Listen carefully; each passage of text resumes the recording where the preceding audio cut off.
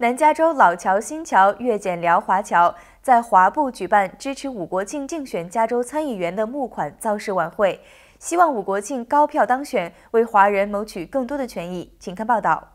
正在竞选加州参议员的武国庆，凭借他在社区的耕耘，建立了广泛的人脉和影响，得到了南加州传统侨社、台籍社团、越解辽社团的大力支持。日前，他们在华埠的金龙酒家举行大型的募款活动。武国庆表示，他竞选的是加州第三十二选区，从蒙特利公园市向东至核桃市，人口超过一百万人。而且是华裔集中居住的地区。他的政见包括医疗健保、教育、住房、社区安全等。I'm running for the state senate. One million people in District 22. I'm here with 500 people that are supporting me tonight here in Los Angeles.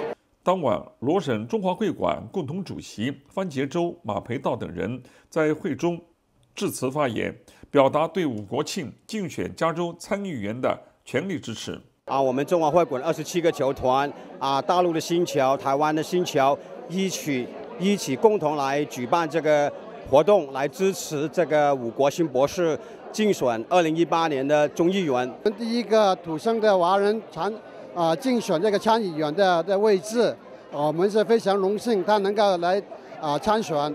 在这里，他跟我们传统侨社也非常关系非常密切。都对于我们啊传统的华人都非常支持。他在那个政坛方面已经服务很多年了，他一直的为我们的华人争取我们税的福利。现在参在那个选区里面，二十二选区，大部分的差不呃呃百分之八十都是我们的华裔，所以我们希望如果他当选，他可以当我们华裔的声音，不但关心我们华人社区。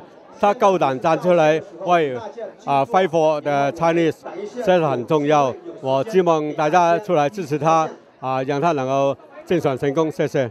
吴国庆担任过蒙市的市议员、加州众议员、洛杉矶社区学院理事，在政坛富有经验和能力，也是我们的华人之光。环球东方记者李玉冲洛杉矶采访报道。